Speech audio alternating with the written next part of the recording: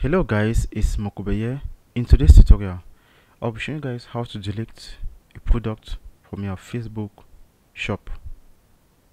Or if you're facing a difficulty deleting a product from your Facebook shop, I'm going to show you guys how to solve that issue. Without wasting much of your time, let's get into the video. So guys, the first thing you need to do is that you simply need to log into that Facebook page.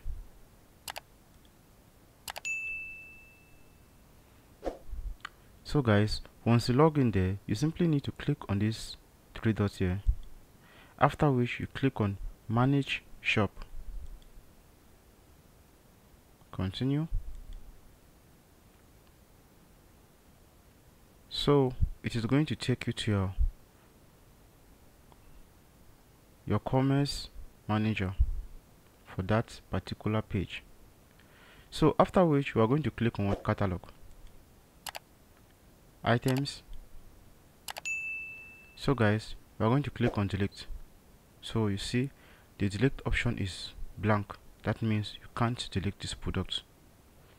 We'll click on it the same thing as you can see.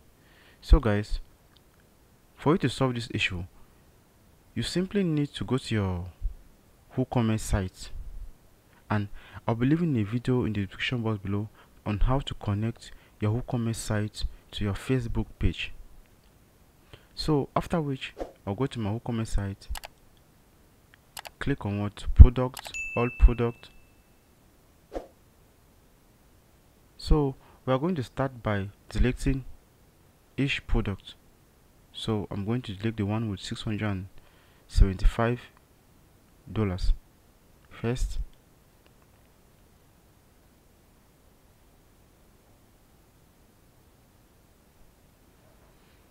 so once I'm done with that I'll go back to my Facebook account refresh it to see.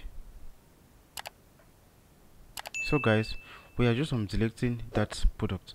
So if you want to delete the other one you simply go back here and click on trash.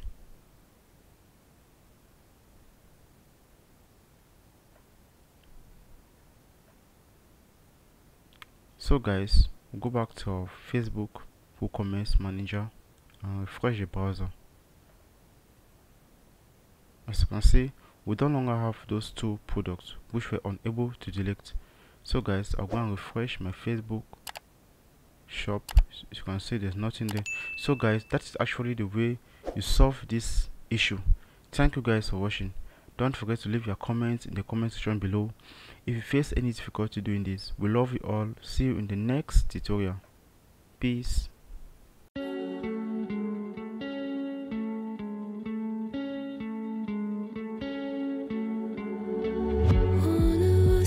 To circle the other. As you go you remain a stranger to me To you. But our pieces left